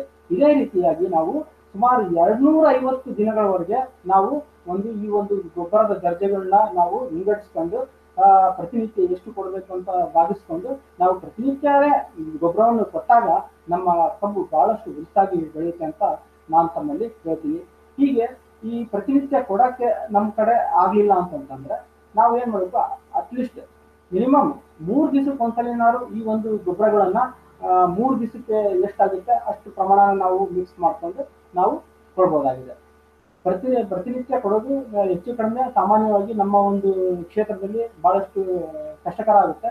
ಹಾಗಾಗಿ ಮೂರು ದಿವಸಕ್ಕೊಂದು ಕೊಡ್ಬೋದು. ಇಲ್ಲ ಮ್ಯಾಕ್ಸಿಮಮ್ ಏಳು ದಿವಸಕ್ಕೊಂದ್ಸಲಿ ನಾವು ಇದನ್ನ ನಾವು ವ್ಯವಸ್ಥಿತವಾಗಿ ಪ್ಲಾನ್ ಮಾಡಿಕೊಂಡು ಕೊಡ್ಬೋದಾಗಿದೆ. ಈ ಒಂದು ಮಾದರಿ ರಸಾವರಿ ವೇಳಾಪಟ್ಟಿನ ತಾವು ಗಮನಿಸಬೇಕಾಗುತ್ತೆ. ವಿವಿಧ ವಿಧಾನಗಳಲ್ಲಿ ಪೌಷ್ಟಿಕಾಂಶದ ಕಾರ್ಯದಕ್ಷತೆ ತಾವು ಗಮನಿಸ್ಬೋದು ರೈತರ, ನಾವು ಏನ್ ಮಾಡ್ತೀವಿ? ನಾವು ಗೊಬ್ಬರನ ಕೈಯಲ್ಲಿ ನಾವು ನಮ್ಮ ಕಬ್ಬಿನ ಒಂದು ಬೆಳೆ ಸಾಲುಗಳಲ್ಲಿ ಹಾಕ್ತೀವಿ. ಹಾಗೆ ಕೊಟ್ಟಂತ ಗೊಬ್ಬರದಲ್ಲಿ ಮುಖ್ಯ ಪೋಷಕಾಂಶಗಳು ಸಾರ್ವಜನಿಕ, ರಂಜಕ ಪೊಟ್ಯಾಶ್ ಇವು ಎಷ್ಟರ ಮಟ್ಟಿಗೆ ನಮ್ಮ ಬೆಳೆಗೆ ಪೂರೈಕೆ ಆಗುತ್ತೆ ಅಂತ ತಾವು ಇಲ್ಲಿ ನೋಡಿದಾಗ ನಾವು ಹೇಳ್ತೀವಿ. ಸಾರ್ವಜನಿಕ, ನಾ, ಅದೇ ನೀವು ಮಣ್ಣಿನ ಅಪ್ಲಿಕೇಶನ್ ಮಾಡಿದಾಗ ನೀವು ನೂರು ಕೆ ಜಿ ಗೊಬ್ಬರ ಕೊಟ್ಟಾಗ ಅಲ್ಲಿ ಮೂವತ್ತೈದು ಪರ್ಸೆಂಟ್ ಅಷ್ಟು ಮಾತ್ರ ನಮ್ಮ ಬೆಳೆಗೆ ಪೂರೈಕೆ ಆಗುತ್ತೆ. ಬಾಕಿ ಎಲ್ಲ ಗೊಬ್ಬರ ಲೀಚಿಂಗ್ ಆಗುವಂತ ಸಂಭವತೆ ಇರುತ್ತೆ. ಮತ್ತೆ ಇದು ಮತ್ತಷ್ಟು ಗೊಬ್ಬರ, ಹಾವಿಯಾಗುವ ಸಂಭವತೆ ಇರುತ್ತೆ. ಉಳಿದ ಮೂವತ್ತರಿಂದ ಮೂವತ್ತೈದು ಪರ್ಸೆಂಟ್ ಅಷ್ಟೇ ಸಾರ್ವಜನಿಕ ನಿಮ್ಮ ಕಬ್ಬಿನ ಬೆಳೆಗೆ ಪೂರೈಕೆ ಆಗುತ್ತೆ. ಅದೇ ತಾವು ಹನಿ ನೀರಾವರಿ ಇಲ್ಲಿ ಗಮನಿಸಬಹುದು ಹನಿ ನೀರಾವರಿ ಮತ್ತೆ ರಸಾವರಿ ಗಮನಿಸಬಹುದು ಸರಿಸುಮಾರು ತೊಂಬತ್ತೈದು ಪ್ರತಿಶತ ನಾವು ಕೊಟ್ಟಂತ ಗೊಬ್ಬರ ಮತ್ತು ನೀರು ಇಲ್ಲಿ ಸದುಪಯೋಗ ಆಗುತ್ತೆ. ಈ ಪೋಷಕಾಂಶವು ತೊಂಬತ್ತೈದು ಪ್ರತಿಶತದಷ್ಟು ನಮ್ಮ ಕಬ್ಬಿನ ಬೆಳೆಗೆ ಪೂರೈಕೆ ಆಗುತ್ತೆ. ಹಾಗೆ ರಂಜಕ ನಿಮಗೆ ನಲವತ್ತೈದು ಪರ್ಸೆಂಟ್ ಅಷ್ಟು ರಂಜಕ ನಮ್ಮ ಬೆಳೆಗೆ ಸಿಗುತ್ತೆ. ಹಾಗೆ ಪೊಟ್ಯಾಶ್ ಎಂಬತ್ತು ಪ್ರತಿಶತದಷ್ಟು ನಮ್ಮ ಬೆಳೆಗೆ ಈ ಒಂದು ಪೊಟ್ಯಾಶ್ ಲಭ್ಯ ಆಗುತ್ತೆ. ಅಂದ್ರೆ ಹನಿ ನೀರಾವರಿಯಲ್ಲಿ ನೀವು ರಸಾವರಿ ಮಾಡ್ಕೊಂಡಾಗ. ಅದೇ ತಾವು ಗಮನಿಸಿದಾಗ ಮಣ್ಣಿನ ಅಪ್ಲಿಕೇಶನ್ ಮಾಡಿದಾಗ ಅದರದ ಒಂದು ಪೂರೈಕೆ ಆಗುವ ಮಟ್ಟ ಬಹಳಷ್ಟು ಕಡಿಮೆ ಇದೆ. ಹಾಗಾಗಿ ರೈತ ಬಾಂಧವರು ಈ ಎಲ್ಲ ಅಂಶಗಳನ್ನ ತಾವು ಗಮನಿಸಿಕೊಂಡು ಹನಿ ನೀರಾವರಿಗೆ ರಸಾವರಿ ಮಾಡ್ಕೋಬೇಕು. ಈ ಒಂದು ರಸಾವರಿಯಿಂದ ಆಗುವಂತ ಉಪಯೋಗಗಳು ಏನಂತ ತಾವು ಇಲ್ಲಿ ಗಮನಿಸಿದಾಗ ಇಳುವರಿಯಲ್ಲಿ ನಾವು ಹೆಚ್ಚಿನ ಇಳುವರಿನ ನಾವು ಪಡ್ಕೊಳ್ಳೋದ್ರಲ್ಲಿ ಉಪಯೋಗ ಆಗುತ್ತೆ. ಯಾಕಂತಂದ್ರೆ ನಾವು ಪ್ರತಿನಿತ್ಯ ಆವಾಗಲೇ ಹೇಳಿದ ಹಾಗೆ ಪ್ರತಿನಿತ್ಯ ನಾವು ನೀರಾವರಿಯೊಂದಿಗೆ ರಸಗೊಬ್ಬರ ಮಿಕ್ಸ್ ಮಾಡಿ ಕೊಡೋದ್ರಿಂದ ಪ್ರತಿನಿತ್ಯದ ಪೂರೈಕೆನ ನಾವು ಪೂರೈಕೆ ಮಾಡಬಹುದು ಹಾಗಾಗಿ ಕಬ್ಬಿನ ಒಂದು ಬಿರುಸಾದ ಬೆಳೆಯನ್ನು ನಾವು ನೋಡುವಲ್ಲಿ ಸಫಲವಾಗ್ತೀವಿ. ಹಾಗೆ ಗೊಬ್ಬರದಲ್ಲಿ ಉಳಿತಾಯ ಸಹಿತ ಆಗುತ್ತೆ. ನಾವು ಸಾಧಾರಣ ಪದ್ಧತಿಯಲ್ಲಿ ಹಿಡಿತಾ ಇಲ್ಲದೆ ನಾವು ಗೊಬ್ಬರನ ಹಾಕ್ತಿರ್ಬೇಕು, ಹೆಚ್ಚು ಕಡಿಮೆ ಗೊಬ್ಬರ ಹೋಗ್ತಾ ಇರುತ್ತೆ, ಅದನ್ನ ನಾವು ಇಲ್ಲಿ ಕಾಪಾಡ್ಕೋಬಹುದು ಹಾಗಾಗಿ ಗೊಬ್ಬರದಲ್ಲಿ ಉಳಿತಾಯನೂ ಆಗುತ್ತೆ. ಮತ್ತೆ ಹಂತಗಳ ಪ್ರಕಾರ ನಾವು ಪೋಷಕಾಂಶಗಳನ್ನ ಪೂರೈಸಬಹುದು ನಾವು ಮೊದಲೇ ಹೇಳಿದಾಗೆ ಬೆಳವಣಿಗೆಯ ಹಂತಗಳನ್ನ ನಾವು ಗಮನದಲ್ಲಿ ಇಟ್ಕೊಂಡು ಆ ಹಂತದಲ್ಲಿ ಎಷ್ಟು ಅನುಪಾತ ನಾವು ಸಾರ್ವಜನಿಕ ರಂಜಕ ಕೊಡಬೇಕು, ಆ ಸಾರ್ವಜನಿಕ ಕೊಡಬೇಕಾದ್ರೆ ಯೂರಿಯಾ ಎಷ್ಟು ಕೊಡಬೇಕು, ಇದನ್ನೆಲ್ಲ ನಾವು ಅಂಶಗಳನ್ನ ಗಮನದಲ್ಲಿ ಇಟ್ಕೊಂಡಾಗ ನಾವು ಪ್ರತಿನಿತ್ಯ ಹಂತಗಳ ಪ್ರಕಾರ ಗೊಬ್ಬರವನ್ನ ಹನಿ ನೀರಾವರಿಯಲ್ಲಿ ಪೂರೈಕೆ ಮಾಡಬಹುದಾಗಿದೆ ಮತ್ತೆ ನೀರು ಮತ್ತು ಮಣ್ಣಿನಲ್ಲಿರುವ ಲವಣಗಳನ್ನ ತಟಸ್ಥಗೊಳಿಸುತ್ತೆ ನಾವೇನಾದ್ರು ರಸಾವರಿ ಮಾಡ್ತಾ ಇದ್ದೀವಿ ಅಂತಂದ್ರೆ ನಮ್ಮ ಒಂದು ಮಣ್ಣಿನಲ್ಲಿ, ಈ ಒಂದು ಸಾಲ್ಟ್ ಅಕ್ಯುಮುಲೇಷನ್ ಅಂತ ಹೇಳ್ತಾರೆ, ಈ ಒಂದು ಆಗುವಂತ ಒಂದು ಪ್ರಮಾಣ ಬಹಳಷ್ಟು ಕಡಿಮೆ ಇರುತ್ತೆ. ಯಾಕಂತಂದ್ರೆ ಈ ಒಂದು ರಸಾವಳಿ ಮಾಡೋದ್ರಿಂದ ಅದರ ಒಂದು ಆಮ್ಲೀಯ ಒಂದು ಎಫೆಕ್ಟ್ ಏನ್ ಮಾಡುತ್ತೆ? ಈ ಒಂದು ಮಣ್ಣಿನಲ್ಲಿ ಆಗುವಂತ ಲವಣಾಂಶಗಳ ಒಂದು ಡೆಪಾಸಿಟ್ ಕಡಿಮೆ ಮಾಡುತ್ತೆ. ಹಾಗೆ ನೀವು ಕೊಟ್ಟಂತ ಪೋಷಕಾಂಶಗಳು ಬೆಳೆಗೆ ಲಭ್ಯ ಇರುವಲ್ಲಿ ಇದು ಬಹಳಷ್ಟು ಉಪಯೋಗ ಮಾಡುತ್ತೆ ರಸಾವಳಿ ಮತ್ತೆ ಡಿಪ್ಪರ್ಗಳ ಅಡಚಣೆನೂ ಆಗೋದು ಬಹಳ ಕಡಿಮೆ ಆಗುತ್ತೆ. ಬರೀ ನಾವು ಹನಿ ನೀರಾವರಿ ಅಷ್ಟೇ ಮಾಡ್ಕೊಂಡಿದ್ದೀವಿ ಹನಿ ನೀರಾವರಿ ಅಷ್ಟೇ ಮಾಡ್ತಿದ್ದೀವಿ ಅಂತ ಅಂದಾಗ ಏನಾಗುತ್ತೆ? ಕಶ್ಮಲಗಳು ಆ, ಒಂದು ಹನಿಕೆಗಳಲ್ಲಿ ಡ್ರಿಪ್ಪರ್ಗಳಲ್ಲಿ ಬ್ಲಾಕ್ ಆಗುವಂತ ಸಂಭವತೆ ಇರುತ್ತೆ. ಅದೇ ನೀವು ಒಂದು ವೇಳೆ ರಸಾವರಿ ಮಾಡ್ತಿದ್ದೇ ಆದಲ್ಲಿ ಆ ಒಂದು ರಸಾವರಿಯ ಒಂದು ಆಮ್ಲೀಯ ಗುಣ ಏನ್ ಬರುತ್ತೆ? ಈ ಒಂದು ಡ್ರಿಪ್ಪರ್ನಲ್ಲಿ ಸೆಟ್ಲ್ ಆಗಿರುವಂತ ಈ ಒಂದು ಕಷ್ಮಲಗಳನ್ನ ಕರಗಿಸುವಲ್ಲಿ ಅದು ಉಪಯೋಗ ಮಾಡುತ್ತೆ. ಹಾಗಾಗಿ ಈ ಒಂದು ಹನಿಕೆಗಳಿಂದ ಆ, ಹನಿ ಹನಿಯಾಗಿ ನೀರು ಬರುವುದು ಅಡಚಣೆ ಆಗುವುದಿಲ್ಲ. ಹಾಗೆ ಪೋಷಕಾಂಶಗಳ ನಷ್ಟನೂ ಕಡಿಮೆ ಆಗುತ್ತೆ. ನಾವು ನೇರವಾಗಿ ಈ ಒಂದು ಕಬ್ಬಿನ ಒಂದು ಬೇರಿನ ಪದರಕ್ಕೆ ಇಲ್ಲಿ ನಾವು ನೀರು ಮತ್ತು ಗೊಬ್ಬರವನ್ನ ಪೂರೈಕೆ ಮಾಡೋದ್ರಿಂದ ಇಲ್ಲಿ ಪೋಷಕಾಂಶಗಳ ಒಂದು ನಷ್ಟನೂ ಬಹಳಷ್ಟು ಕಡಿಮೆ ಇದೆ. ಮತ್ತೆ ಪ್ರಮುಖ ಮತ್ತು ಸೂಕ್ಷ್ಮ ನೀರ ಸೂಕ್ಷ್ಮ ಪೋಷಕಾಂಶಗಳು ಅಂದ್ರೆ ಮ್ಯಾಕ್ರೋ ಅಂಡ್ ಮೈಕ್ರೋನ್ಯೂಟ್ರಿಯೆಂಟ್ಸ್ ಏನು ಲಘು ಪೋಷಕಾಂಶಗಳು ಇವೆಲ್ಲ ಅಂತಿರಲ್ಲ, ಇವನ್ನೆಲ್ಲ ಒಂದೇ ಪ್ರಮಾಣದಲ್ಲಿ ಒಂದೇ ಒಂದು ಮಿಶ್ರಣ ಮಾಡಿಬಿಟ್ಟು ನಾವು ಹನಿ ನೀರಾವರಿ ರಸವಾಗಿ ಮಾಡ್ಕೋಬಹುದಾಗಿದೆ ಹಾಗೆ ಅಗತ್ಯವಿರುವ ಸಾಂದ್ರತೆಗೆ ಅನುಗುಣವಾಗಿ ರಸ ರಸಗೊಬ್ಬರಗಳನ್ನ ಕೊಡ್ಬೋದು. ನಾನು ನಿಮ್ಗೆ ಮೊದಲೇ ಹೇಳಿದೆ, ನಾವು ಎಷ್ಟು ಈ ಒಂದು ಹಂತದಲ್ಲಿ ಗೊಬ್ಬರ ಕೊಡಬೇಕು, ಅಷ್ಟಷ್ಟೇ ಕೊಡ್ಲಿಕ್ಕೆ ಹನಿ ನೀರಾವರಿ ಹನಿ ನೀರಾವರಿ ಒಳಗಡೆ ನಾವು ಕೊಡ್ಕೋಬಹುದಾಗಿದೆ ಮತ್ತೆ ಸಮಯ, ಶ್ರಮ, ಶಕ್ತಿಯಲ್ಲಿ ಬಹಳಷ್ಟು ಉಳಿತಾಯ ಆಗುತ್ತೆ. ನಾವು ಕೈಯಲ್ಲಿ ಗೊಬ್ಬರ ಹಾಕ್ಬೇಕಂದ್ರೆ ಹೆಚ್ಚು ಕಡಿಮೆ ಬಹಳಷ್ಟು ಸಮಯ ಬೇಕು. ಹಾಗೂ ಆಳಿನ ವೆಚ್ಚ ಬಹಳಷ್ಟು ಆಗುತ್ತೆ. ಹಾಗೂ ಮತ್ತೆ ಈ ಒಂದು ವಿದ್ಯುತ್ ಉಪಯೋಗನ ನಾವು ಬಹಳ ಕಡಿಮೆ ಮಾಡ್ಕೋಬೇಕಾಗಿದೆ ಹನಿ ನೀರಾವರಿ ಉಪಯೋಗ ಮಾಡೋದ್ರಿಂದ. ಹೇಳ್ತು ಅಂದ್ರೆ ತಾವೆಲ್ಲರೂ ಈ ಒಂದು ಇಷ್ಟು ಅಂಶಗಳನ್ನ ತಾವು ಗಮನದಲ್ಲಿ ಇಟ್ಕೋಬೇಕು. ಹಾಗೂ ಒಂದು ಕಬ್ಬಿನ ಒಂದು ಕೃಷಿ ಮಾಡಿದ್ದಾದಲ್ಲಿ ಇನ್ನೂ ಮತ್ತಷ್ಟು ಹೆಚ್ಚು ಒಂದು ಇಳುವರಿ ಪಡ್ಕೊಳ್ಳಲು ಯಶಸ್ವಿ ಆಗ್ತೀರಾ ಅಂತ ನಾನು ಭಾವಿಸ್ತೀನಿ. ತಾವಿಲ್ಲಿ ನೋಡ್ತಾ ಇರ್ಬೋದು. ಈ ಒಂದು ಉಪಮೇಲ್ಮೈ ಹನಿ ನೀರಾವರಿ ಪದ್ಧತಿ, ಅಂದ್ರೆ ಸಬ್ ಸರ್ಫೇಸ್ ಹನಿ ನೀರಾವರಿ ಪದ್ಧತಿ ಇವರಿಗೆ ಲ್ಯಾಟ್ರಲ್ ಇನ್ಸ್ಟಾಲೇಷನ್ ಮಾಡ್ತಾರೆ ಅಂತ ಮೊದಲಿಗೆ ಈ ಒಂದು ಲ್ಯಾಟ್ರಲ್ ಇನ್ಸ್ಟಾಲೇಷನ್ ಮಾಡ್ಬೇಕಂದ್ರೆ ನಾವು ಭೂಮಿ ತಯಾರಿಕೆನ ಬಹಳಷ್ಟು ಗುಣಮಟ್ಟವಾಗಿ ಮಾಡ್ಕೋಬೇಕಾಗುತ್ತೆ. ಸುಮಾರು ಸರಿಸುಮಾರು ಎರಡರಿಂದ ಮೂರಷ್ಟು ಡೀಪ್ ಕಲ್ಟಿವೇಶನ್ ಮಾಡಿ, ಆಮೇಲೆ, ಆ, ಒಂದು ಹೆಂಟೆಗಳನ್ನ ಹೊಡಿಲಿಕ್ಕೆ ಎರಡರಿಂದ ಮೂರು ಮೈ ರೋಟವೇಟರ್ನ ಹೊಡೆದು ಆ ಒಂದು ಮಣ್ಣಿನ ಹೆಂಟೆಗಳನ್ನು ಪುಡಿ ಮಾಡಿ ಹದವಾಗಿ ಭೂಮಿ ತಯಾರಿಕೆ ಮಾಡ್ಕೊಂಡ್ರೆ ಈ ಒಂದು ಲ್ಯಾಟರಲ್ ಇನ್ಸ್ಟಾಲೇಷನ್ ಏನಿದೆ ಬಹಳ ಅಚ್ಚುಕಟ್ಟಲ್ಲಿ ಆಗುತ್ತೆ.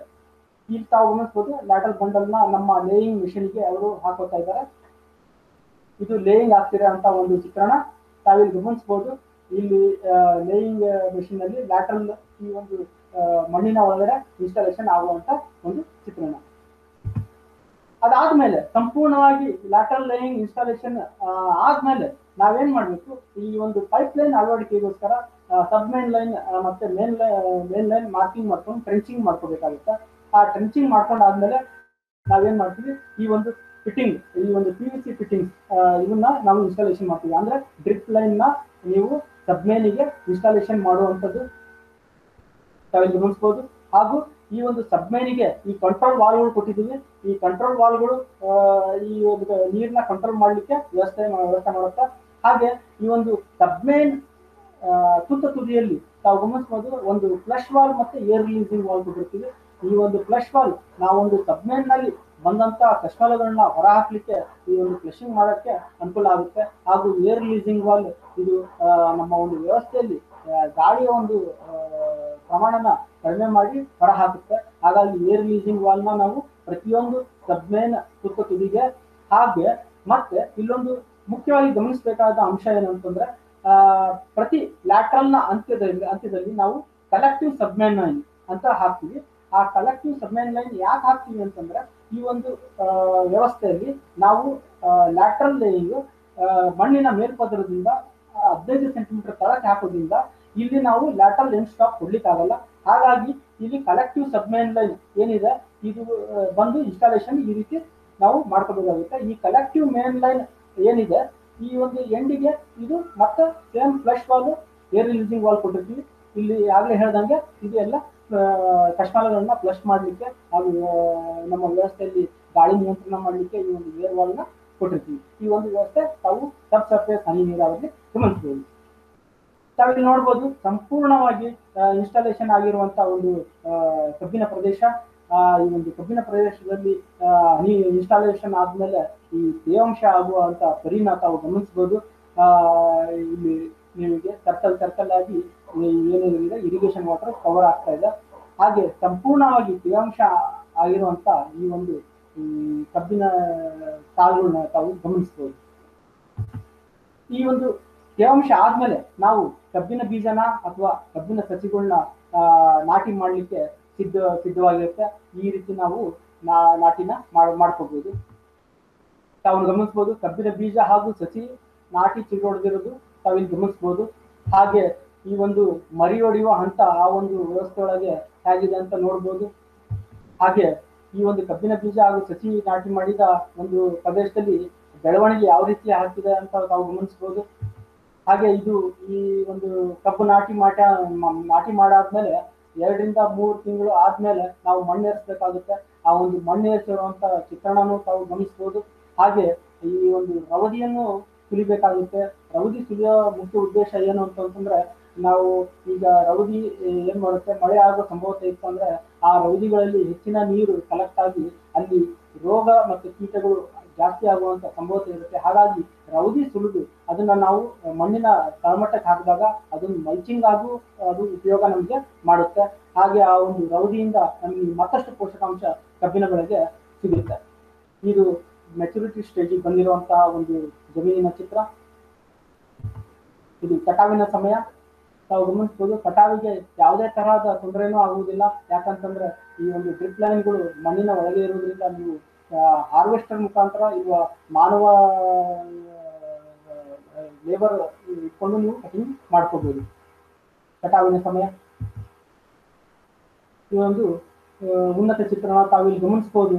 ಈ ಒಂದು ಸಬ್ ಸರ್ಫೇಸ್ ಹನಿ ನೀರಾವರಿಯಿಂದ ಎಲ್ಲ ಕಡೆ ಕರೆಕ್ಟಾಗಿ ನಿಮಗೆ ಕಬ್ಬು, ಬೀಜ ನಾಟಿಯಾಗಿರುವಂಥದ್ದು ಈ ಒಂದು ಚಿತ್ರಣ. ಪಕ್ವವಾಗಿ ಬೆಳೆದಿರುವಂತಹ ಒಂದು ಚಿತ್ರಣ. ನಾವು ಈ ಒಂದು ಸಬ್ ಸರ್ಫೇಸ್ ಹನಿ ನೀರಾವರಿ ವ್ಯವಸ್ಥೆನ ಎಲ್ಲಾ ತರಹದ ಮಣ್ಣಲ್ಲೂ ನಾವು ಮಾಡ್ಕೋಬಹುದು ಈ ಒಂದು ಕಪ್ಪು ಮಿಶ್ರಿತ ಮಣ್ಣು ಇರುತ್ತೆ. ಸ್ವಲ್ಪ ಕಪ್ಪು ಮಿಶ್ರಿತ ಮಣ್ಣು ಮತ್ತೆ ಒಂದು ಸ್ವಲ್ಪ ಮರಳು ಮಿಶ್ರಿತ ಮಣ್ಣು ಇರುತ್ತೆ. ಅಂತ ಜಮೀನಿನಲ್ಲೂ ನಾವು ಇದನ್ನ ಅಳವಡಿಸಬಹುದಾಗಿದೆ ಹಾಗೆ ಕೆಂಪು ಮಣ್ಣಲ್ಲೂ ನಾವು ಈ ಒಂದು ವ್ಯವಸ್ಥೆನ ಅಳವಡಿಸ್ಕೊಂಡು ನಾಟಿ ಮಾಡಬಹುದು ಕಬ್ಬನ್ನ ಹಾಗೆ ಕಪ್ಪು ಮಣ್ಣು, ಭಾರಿ ಕಪ್ಪು ಮಣ್ಣು ಇರುತ್ತೆ. ಬ್ಲಾಕ್ ಕಾಟನ್ ಸಾಯಿಲ್ ಅಂತಾರೆ. ಅಂತ ಒಂದು ಕ್ಷೇತ್ರದಲ್ಲೂ ನಾವು ಸರಿಯಾಗಿ ಭೂಮಿ ತಯಾರಿಕೆ ಮಾಡಿದ್ದೇ ಆದಲ್ಲಿ ನಾವು ಈ ಒಂದು ಹನಿ ನೀರಾವರಿ ವ್ಯವಸ್ಥೆನ ಅಳವಡಿಸ್ಕೋಬಹುದು ಇಷ್ಟೆಲ್ಲ ಆದ್ಮೇಲೆ ಕಬ್ಬನ್ನ ನಾವು ಕಟಾವ್ ಆದ್ಮೇಲೆ ಕೂಳೆ ನಿರ್ವಹಣೆ ಬಹಳ ಅತಿ ಅತ್ಯವಶ್ಯಕ. ಕಬ್ಬು ಕಟಾವ್ ಆದ್ಮೇಲೆ ರೌದಿನ ನಾವು ಸಾಮಾನ್ಯವಾಗಿ ಏನ್ ಮಾಡ್ತೀವಿ? ಸುಡ್ತೀವಿ ಹಾಗಾಗಿ ರೈತ ಬಾಂಧವರಲ್ಲಿ ನಾನು ವಿನಂತಿ ಮಾಡ್ಕೊಂಡೇನಂದ್ರೆ ಕಬ್ಬು ಬೆಳೆ ಬೆಳೆದ ಕಟಿಂಗ್ ಆದ್ಮೇಲೆ ಅದ್ರ ರೌದಿ ಏನಿದೆ, ಅದನ್ನ ಸುಡಬೇಡಿ. ಅದನ್ನ ಒಂದ್ ಕಡೆ ಅಲೈನ್ಮೆಂಟ್ ಮಾಡ್ಕೊಂಡು, ನೀವು ಆ ಒಂದು ಅಲೈನ್ಮೆಂಟ್ ಮಾಡ್ಕೊಂಡಿರೋ ರೌದಿಗಳ ಮೇಲೆ ಈ ಒಂದು ಟ್ರ್ಯಾಶ್ ಶೆಟ್ಟರ್ ಯಂತ್ರನ ಬಳಸಿ ಅದನ್ನ ಪುಡಿ ಮಾಡ್ಕೊಂಡು, ಮುಂದಿನ ಒಂದು ಬೆಳೆಗೆ ಅದು ಪೋಷಕಾಂಶವಾಗಿ ಪರಿವರ್ತನೆಗೊಂಡು ನಿಮ್ಮ ಒಂದು ಮುಂದಿನ ಬೆಳೆಯಲ್ಲಿ ನೀವು ಒಂದು ಸರಿಸುಮಾರು ಒಂದು ಹತ್ತು ಪ್ರತಿಶತ ನೀವು ಗೊಬ್ಬರದಲ್ಲಿ ಪ್ರಮಾಣ ಕಡಿಮೆ ಮಾಡ್ಕೋಬಹುದು ಈ ಒಂದು ರೌದಿನ ಈ ರೀತಿ ನಾವು ಬಳಕೆ ಮಾಡ್ಕೋಬಹುದು ಹಾಗೆ ಆ ಒಂದು ಕುಳೆಗಳನ್ನ ನಾನು ಅವಾಗಲೇ ಹೇಳಿದಾಗೆ ನೀವು ಈ ಒಂದು ಸ್ಟಬಲ್ ನೀವು ಅದನ್ನ ಆಪರೇಷನ್ ಮಾಡಿದ್ದೇ ಆಗಿದ್ದಲ್ಲಿ ಅಲ್ಲಿ ಕುಳೆ ಬೆಳೆ ಕುಳೆ ಬೆಳೆ ಬಹಳ ಉನ್ನತ ಗುಣಮಟ್ಟದಲ್ಲಿ ಬರೋಕ್ಕೆ ಆಸ್ಪದ ಆಗುತ್ತೆ ತಾವಿಲ್ಲಿ ಗಮನಿಸಬಹುದು ರೌದಿನ ಪುಡಿ ಮಾಡಿ ರೆಡಿ ಮಾಡಿದಂತಹ ಒಂದು ಕಬ್ಬಿನ ಕ್ಷೇತ್ರ, ಆಮೇಲೆ ಆ ಒಂದು ಕಬ್ಬಿನ ಕ್ಷೇತ್ರದಲ್ಲಿ ಹುಲುತಾಗಿ ಬಂದಿರುವಂತಹ ಕುಳೆ ಕಬ್ಬು. ರೈತ ಬಾಂಧವರ, ಈ ಎಲ್ಲಾ ಒಂದು ಅಂಶಗಳನ್ನ ಗಮನದಲ್ಲಿಟ್ಕೊಂಡು ರೈತರು, ಕೆಲವೊಂದು ಬಹಳಷ್ಟು ರೈತರು ಈ ಒಂದು ಹನಿ ನೀರಾವರಿಯಲ್ಲಿ ಹೆಚ್ಚಿನ ಇಳುವರಿನ ಪಡ್ಕೊಂಡಿದ್ದಾರೆ. ಹಾಗಾಗಿ ಕೆಲವೊಂದು ರೈತರ ಒಂದು ಹೆಸರಾಟನ ತಾವು, ನಾನು ತಮ್ಮಲ್ಲಿ ತೋರಿಸ್ತಾ ಇದ್ದೇನೆ. ಈ, ಲಕ್ಷ್ಮಣೇಶ್ವರ್ ಪಸಾರಾಯನವರು ಚಿಕ್ಕೋಡಿ ತಾಲೂಕಿನವರು ಕಾರ್ದಗ ವಿಲೇಜ್ನವರು, ಇವರು ನೂರ ಮೂವತ್ತು ಟನ್ ಪ್ರತಿ ಎಕರೆಗೆ ಕಬ್ಬನ್ನು ಬೆಳೆದಿದ್ದಾರೆ ಅದು variety eighty six zero thirty ಹಾಗೆ ಮತ್ತಷ್ಟು ರೈತರು ಸರಿಸುಮಾರು ಎಂಬತ್ತು ಟನ್ನಿಂದ ಹಿಡ್ಕೊಂಡು ನೂರ ಮೂವತ್ತು ಟನ್ ತನಕನೂ ಈ ಒಂದು ಕಬ್ಬಿನ ಇಳುವರಿಯಲ್ಲಿ ಯಶಸ್ವಿಯಾಗಿ ಬಹಳಷ್ಟು ಇಳುವರಿಯನ್ನ ಪಡ್ಕೊಂಡಿದ್ದಾರೆ. ಅವರೆಲ್ಲರೂ ಹನಿ ನೀರಾವರಿ ವ್ಯವಸ್ಥೆನ ಬಹಳ ಅಚ್ಚುಕಟ್ಟಿಂದ ಪರಿಪಾಲನೆ ಮಾಡಿಕೊಂಡು ಮತ್ತು ನಾವು ಹೇಳಿದ ತಾಂತ್ರಿಕ ಸಲಹೆಗಳನ್ನ ಬಹಳ ಅಚ್ಚುಕಟ್ಟಾಗಿ ಪರಿಪಾಲನೆ ಮಾಡಿಕೊಂಡು ಈ ಒಂದು ಯಶಸ್ವಿ ಪಡ್ಕೊಳ್ಳಲ್ಲಿ ಅವರು ಯಶಸ್ವಿಯಾಗಿದ್ದಾರೆ. ಈಗ ತಾವು ಕಬ್ಬಿನ ಕೃಷಿಯಲ್ಲಿ ನೀರಿನ ಆರ್ಥಿಕತೆ ತಾವಿಲ್ಲಿ ಗಮನಿಸ್ಬೋದು. ಸರಿಸುಮಾರು ಒಂದು ಹೆಕ್ಟರ್ ಪ್ರದೇಶ ನಾವು ಹೈ ನೀರು ಮಾಡಿದ್ದೇ ಆದಲ್ಲಿ ಅಲ್ಲಿ ನಾವು ಇಪ್ಪತ್ತೈದು ಸಾವಿರದ ನಾಲ್ಕುನೂರು ಮೀಟರ್ ಕ್ಯೂಬ್ ಅಷ್ಟು ನೀರು ಉಪಯೋಗ ಮಾಡಿಕೊಂಡು ಒಂದು ಹೆಕ್ಟರ್ ಪ್ರದೇಶದಲ್ಲಿ ನಾವು ಕಬ್ಬನ್ನ ಹೈ ನೀರಲ್ಲಿ ನಾವು ಮಾಡ್ತಾ ಇದ್ದೀವಿ. ಅದೇ ನಾವು ಹನಿ ನೀರಾವರಿಯಲ್ಲಿ ಸರಿಸುಮಾರು ಹನ್ನೆರಡು ಸಾವಿರ, ಹನ್ನೆರಡು ಸಾವಿರದ ಹತ್ತೊಂಬತ್ತು ಘನ ಮೀಟರ್ ಕ್ಯೂಬ್ ಅಷ್ಟೇ ಬಳಕೆ ಮಾಡಿಕೊಂಡು ನಾವು ಒಂದು ಹೆಕ್ಟರ್ ಪ್ರದೇಶದಲ್ಲಿ ನಾವು ಕಬ್ಬನ್ನ ಬೆಳಿತೀವಿ. ಹಾಗಾಗಿ ಸರಿಸುಮಾರು ಐವತ್ತು ಪ್ರತಿಶತ ಪ್ರತಿಶತದಷ್ಟು ನಾವು ನೀರನ್ನು ನಾವು ಇಲ್ಲಿ ಉಳಿಸ್ತಾ ಇದ್ದೀವಿ.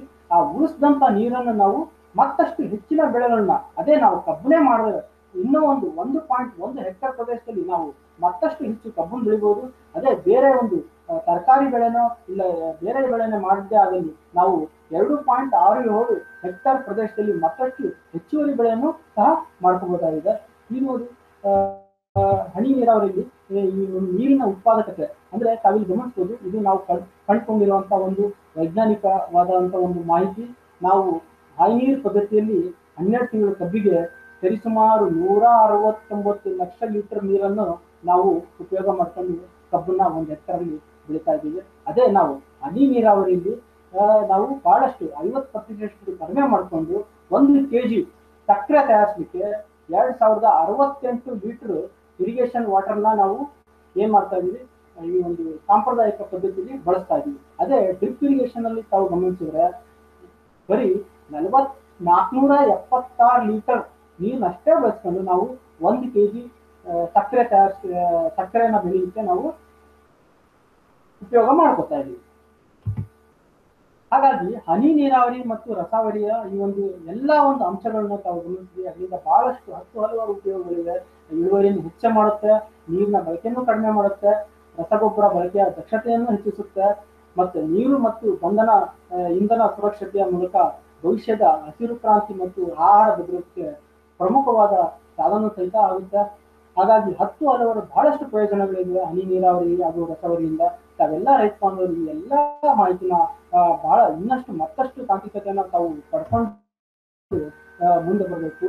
ಹಾಗೂ ಈ ಒಂದು ನಿಟ್ಟಿನಲ್ಲಿ ನಮ್ಮ ಜೈನ್ ಹನಿ ನೀರಾವರಿ ಜೈನ್ ಇರಿಗೇಷನ್ ಹನಿ ನೀರಾವರಿ ಸಂಸ್ಥೆ ಎಲ್ಲ ರೈತ ಬಾಂಧವರಿಗೆ ಬಹಳಷ್ಟು ತರಬೇತಿಗಳನ್ನು ಸಹ ನೀಡ್ತಾ ಇದೆ. ನಮ್ಮ ಒಂದು ಕೇಂದ್ರೀಯ ಸ್ಥಾನವಾದ ಜೈನ್ ಇರಿಗೇಷನ್ ಜಲಗಾಂವ್ನಲ್ಲಿ ರೈತರನ್ನ ರೈತರನ್ನ ಕರ್ಕೊಂಡೋಗಿ ಅಲ್ಲಿ ಅವರಿಗೆ ತರಬೇತಿ ಕೊಡುವಂಥದ್ದು ಪ್ರಾತ್ಯಕ್ಷಿಕ ಸಾಕುಗಳಿಗೆ ಕರ್ಕೊಂಡು ತರಬೇತಿ ಕೊಟ್ಟಿರುವಂಥದ್ದು. ಹಾಗೂ ಆ ಒಂದು ರೈತರ ಒಂದು ಪ್ರದೇಶದಲ್ಲೇ ನಾವು ಅವ್ರ ಜೊತೆ ನಿಂತು ಈ ಒಂದು ಎಲ್ಲಾ ತಾಂತ್ರಿಕ ಸಲಹೆಗಳನ್ನು ಕೊಟ್ಟು ಅವ್ರ ಕೈಯಲ್ಲೇ ನಾವು ಕೃಷಿನೂ ಸಹಿತ ಮಾಡಿಸಿ ತೋರಿಸಿದ್ದೀವಿ. ಹಾಗೆ ನಮ್ಮ ಕಂಪನಿಯ ತಜ್ಞರಲ್ಲದೆ ಹಲವಾರು ಅಂತಾರಾಷ್ಟ್ರೀಯ ತಜ್ಞರು ಸಹಿತ ಬಂದು ಈ ಒಂದು ತರಬೇತಿಯಲ್ಲಿ ಪಾಲ್ಗೊಂಡು ರೈತರಿಗೆ ತರಬೇತಿಯನ್ನು ಸಹಿತ ಕೊಡ್ತಾ ಇದ್ದಾರೆ. ಹಾಗೆ ಈ ಇಷ್ಟೆಲ್ಲ ಕೆಲಸ ಮಾಡ್ತಿರುವಂತಹ ನಮ್ಮ ಒಂದು ಜೈನ್ ಇರಿಗೇಷನ್ ಸಂಸ್ಥೆ ಜೈನ್ ಇರಿಗೇಷನ್ ಸಂಸ್ಥೆ ಹೇಳ್ಬೇಕು ಅಂತಂದ್ರೆ ಈ ಒಂದು ಜೈನ್ ಇರಿಗೇಷನ್ ಸಂಸ್ಥೆಯಲ್ಲಿ ಎಲ್ಲಾ ತರಹದ ಸೂಕ್ಷ್ಮ ನೀರಾವರಿ ಸಾಧನಗಳು ಸಹ ನಮ್ಮಲ್ಲಿ ಲಭ್ಯವಿದೆ. ಹಾಗೂ ಸೋಲಾರ್ ಪವರ್, ಹನಿ ನೀರಾವರಿ ವ್ಯವಸ್ಥೆಗಳು ಸಹ ಲಭ್ಯವಿದೆ. ಸಕಲ ಪಿ ವಿ ಸಿ ಫಿಟ್ಟಿಂಗ್ಸ್ಗಳು ಪಿ ಪೈಪ್ಗಳು ಎಲ್ಲವೂ ಲಭ್ಯವಿದ್ದಾವೆ ರಸಾವಳಿ ತಾಂತ್ರಿಕತೆಗಳು ಲಭ್ಯವಿದ್ದಾವೆ ಹಾಗೂ ಕೃಷಿ ಆಧಾರಿತ ತಾಂತ್ರಿಕ ಸೇವೆಗಳನ್ನು ನಾವು ಒದಗಿಸ್ತಾನೇ ಇದ್ದೀವಿ ಒದಗಿಸ್ತಾ ಬಂದಿದ್ದೀವಿ ಹಾಗೂ ಈ ಮೂಲಕ ಈ ಒಂದು ವಿನಾರ್ ತಂತ್ರಜ್ಞಾನದ ಮೂಲಕ ನಾವು ಒದಗಿಸ್ತಾನೂ ಇದ್ದೀವಿ ಹಾಗೂ ರೈತರ ಒಂದು ತರಬೇತಿ ಮತ್ತು ಸಾಮರ್ಥ್ಯ ನಿರ್ಮಾಣ ಮಾಡೋದ್ರಲ್ಲೂ ನಾವು ಯಶಸ್ವಿಯಾಗಿ ರೈತರಿಗೆ ತರಬೇತಿಗಳನ್ನು ಸಹ ಕೊಡ್ತಾ ಇದ್ದೀವಿ ರೈತ ಬಾಂಧವರ ಇಲ್ಲಿವರೆಗೂ ತಾವೆಲ್ಲ ಆ, ಬಹಳ ತಾಳ್ಮೆಯಿಂದ ಈ ಒಂದು ತಾಂತ್ರಿಕ ಮಾಹಿತಿಗಳನ್ನ ಕೇಳಿದ್ದೀರಿ. ಹಾಗೂ ಈ ಒಂದು ಕಾರ್ಯಕ್ರಮಕ್ಕೆ ತಮ್ಮೆಲ್ಲರಿಗೂ ನಾನು ಆತ್ಮೀಯ ಧನ್ಯವಾದಗಳನ್ನ ಅರ್ಪಿಸ್ತಾ ಇದ್ದೀನಿ.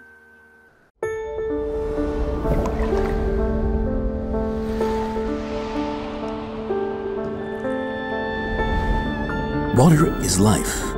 We all need clean water to live, to grow crops, to thrive. But there just isn't enough water or land to feed our hungry world. Unless we change the way we grow food. That's why millions of farmers are turning to Jane.